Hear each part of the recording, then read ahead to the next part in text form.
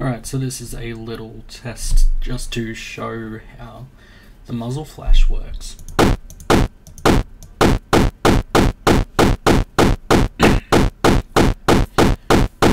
the animation's still a little janky.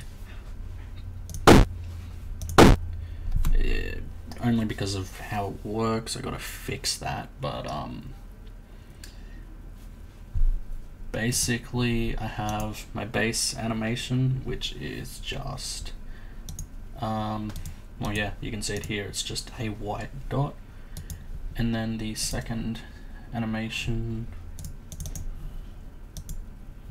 where it's the uh, standard